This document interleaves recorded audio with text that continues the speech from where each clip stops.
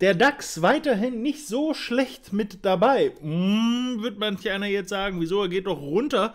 Hier jetzt der DAX-Index mal im Überblick. Aber die Art und Weise, wie er bisher runtergeht, finde ich gar nicht so schlecht. Ehrlich gesagt, das ist noch alles ganz in Ordnung. Ich hatte gestern mal eine Zeichnung angegeben, nämlich, dass wir ja hier vorne eigentlich eine deutliche Aufwärtsbewegung, eine Korrektur nach unten, zack, und wenn wir hier nochmal eine Korrektur bekommen, dass wir dann nochmal irgendwie was nach oben bekommen. Und das wäre, solange wir hier keinen Überlappungskonflikt haben. Ihr wisst ja, dass äh, die Marktteilnehmer Schwäche zeigen, wenn die Marktbewegung sehr häufig Kursüberschneidungen mit sich bringt. Je mehr, desto dover. Das ist nicht immer so einheitlich zu erkennen. Hier zum Beispiel kann man auch sagen, naja, aber es war auch, nachher ist es doch nach unten gegangen. Das stimmt schon. Also das alleine ist nicht unbedingt ein Kriterium, ob die Bewegung nicht noch weitergehen kann. Aber es ist zumindest mal eine etwas äh, Verschlechterung der Situation und dann muss es schon wirklich sehr deutlich korrektiv sein, um das Ganze dann eben zu sagen, ah, okay, das ist zwar nicht optimal, aber das war ja noch doofer. So, und so ähnlich wird das hier möglicherweise sein. Die letzte Aufwärtsbewegung war doch sehr stark. Und das, was wir hier bisher haben, ich mache das mal eine Stufe größer, dann kann man das vielleicht besser nachvollziehen, ist zumindest mal bisher ganz klar ABC zu sehen. Und ABC ist ja die andere Form, entweder sehr wackelig hin und her, ich habe jetzt nicht ganz passend gezeichnet, aber ihr seht schon, was ich meine. Oder eben dreiwellig ABC. Das ist durchaus das Typische als Verhaltensmuster. Vielleicht geht es sogar noch mal einmal tiefer, denn was wir bisher hatten, ist auch nur dreiwellig nach oben. Also im Moment der Markt klar in Abwärtsbewegung. Ich muss allerdings sagen, dass auch die Abwärtsbewegung, zumal sie schwächer ist als die Aufwärtsbewegung, ja korrektiv aussieht. Das heißt, ich sehe ganz gute Chancen, dass es dann irgendwann doch noch mal hier den Weg nach oben dann eben schafft. Also, dass der Markt da noch nicht gänzlich verloren ist. Das ist beim Future nicht groß anders. Also, ihr seht, das Verhalten ist hier vielleicht ein bisschen steiler. Äh, das macht es dann nicht so einfach. Trotz alledem, hm, die Chance für die Aufwärtsrichtung ist nach wie vor gegeben. Vielleicht nicht so sehr auf der Future-Seite, aber auf der Aktienseite ist es zumindest mal noch da. Ja, aber wird der Markt sich gegen den DAX, äh, Entschuldigung, gegen den Dow, also dem amerikanischen Markt, durchsetzen können? Das ist ja die alles entscheidende Frage. Ah, wen interessiert der DAX? Der kann ja eh nichts alleine. Denken zumindest mal viele. Ja, gucken wir nach Amerika, das ist der Dow Jones. Und äh, wir sind ja noch wieder ein gutes Stück, naja, jetzt hier ganz jung wieder in den letzten Stunden runtergekommen. Und das macht zumindest aktuell noch nicht so richtig Spaß, hier irgendwie einen Handel da drauf zu machen. Also aus meiner Sicht ist das Bild hier mit der Korrektur noch längst nicht rum. Ich gehe also davon aus, wir haben die besseren Chancen.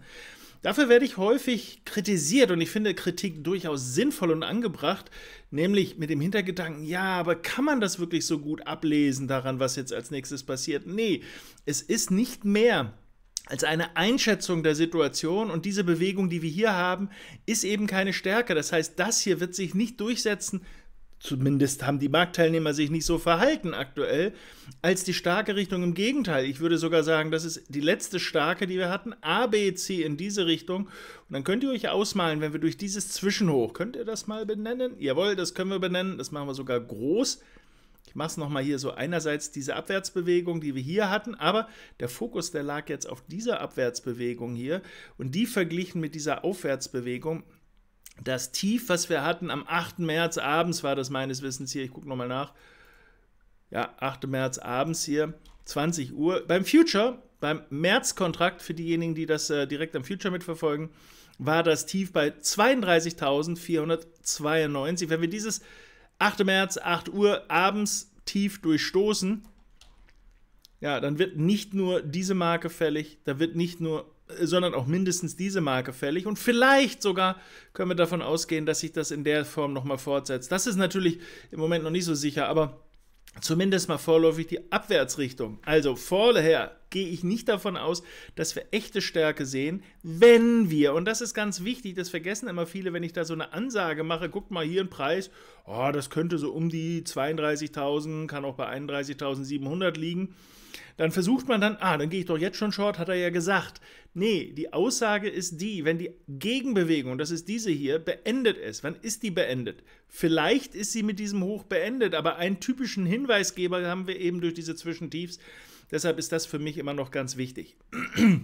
Wer jetzt sagt, ist das ein guter Trade, der kann das ja nur als eine Indikation nehmen und dann sagen, okay, im 4-Stunden-Chart haben wir jetzt eine Marke durchstoßen, die auf einmal irgendwas hier recht typisch werden. Vielleicht sogar noch tiefer, aber das ist jetzt erstmal nicht gesagt. Irgendwie sowas in diesem Bereich. Vielleicht kann ich jetzt dann auf eine Stufe kleiner gehen, zum Beispiel im 15-Minuten-Chart, vielleicht im 5-Minuten-Chart, um dort irgendwas zu handeln. Das eben klassisch, ich gehe jetzt mal bewusst auf ganz kurze Zeitebene, dass uns eben eine starke Bewegungsrichtung gibt, eine vielleicht A, B, C Gegenbewegung, wenn das getriggert wird, dann eben dann in irgendeiner Form nochmal die Fortsetzung dieser Bewegungsrichtung. Das heißt, ihr könnt dann genau dieses Verhaltensmuster auch auf der kleinen Ebene nochmal suchen und sagen, okay, das muss jetzt nicht Minute sein, das ist jetzt nur ein Beispiel, weil ich es hier jetzt gerade gesehen habe. Das ist übrigens auch eine Geschichte, Viele denken, dass der Chart zu jeder Zeit immer eine ganz klare Aussage liefert, was als nächstes passiert. Das ist leider nicht so. Ich habe ganz viele Zeiten, zum Beispiel hier mittendrin irgendwo, wo ich sage, ich habe keine Ahnung. Gut, da war es jetzt gar nicht so schlimm, weil auch hier hatten wir Schubbewegung runter, wackelige Aufwärtsbewegung und dann eben nochmal die Fortsetzung der. Das geht übrigens umgekehrt auch. Schubbewegung hoch, wackelig runter und dann nochmal die Fortsetzung der Bewegung. Aber manchmal ist es so, dass man es nicht so klar erkennt. Hier zum Beispiel hatten wir äh, starke Abwärtsbewegung aber ist das eine Korrektur? Also da muss ich sagen, ist meine Bereitschaft zu shorten viel kleiner als jetzt hier zum Beispiel an den Stellen, wo das relativ deutlich zu sehen ist. Deshalb lasst euch da nicht einlullen im Sinne davon, das muss aber immer so sein und wenn es nicht immer so ist, klappt es nicht. Sondern nehmt die Gelegenheiten wahr, die das Bild eben auch so zeigen. Und dann könnt ihr sagen, okay, dann mache ich da mit. Viele schreiben dann immer, ja, es ist alles so unkonkret, so wischiwaschi. Ja, das Problem ist, es müsste genau zu diesem Zeitpunkt jetzt im Minutenchart eine Situation sein, dann kann ich euch ganz konkret meine Einstiegs- und Ausstiegsorders sagen. Wer Interesse an sowas hat, der ist natürlich mit dem Trade des Tages bei Finanzmarktwelt, zumindest mal gelegentlich, oder ganz regelmäßig bei Born for Trading, wo wir täglich mehrere Trading-Ideen dann veröffentlichen, also im Vorfeld mit den konkreten Marken besser aufgehoben. Es ist halt schwer, das Video genau dann zu machen, wenn möglichst alle Märkte sagen, genau jetzt ist der richtige Zeitpunkt. Das ist dann so eine Sache und ihr könnt euch ausmalen, wenn ich euch das rechtzeitig ankündige, bis das Video durch ist. Bis ihr es seht, ist der Kurs ja längst hier unten. Also im Minutenchart werde ich es euch nicht ansagen können.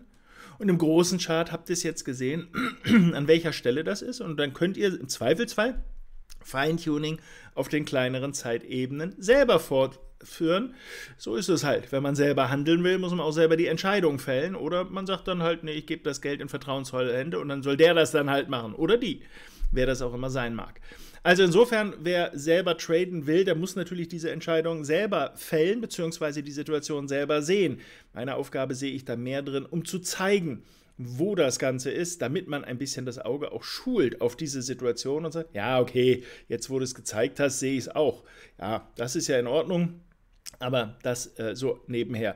Beim SP 500, hier ES als Future, ist es natürlich genauso. Gleiches Tief. Bitte guckt gegebenenfalls, wenn ihr bei einem CFD-Broker seid, an welchen Stellen ihr da unterwegs seid. Es gibt ja ähm, da teilweise Abweichungen. Manch ein Broker hat nicht die gleichen Werte, äh, was der Future-Markt hat. Deshalb fällt es mir dann schwer, allgemeingültig zu sagen, bei der und der Ziffer, dann sagt ihr, ja, bei mir ist der Kurs ganz woanders, weil der Broker ganz andere Zahlen als Basis eben hat. Aber das ist das Standardprodukt sozusagen, zumindest mal für die institutionellen Händler.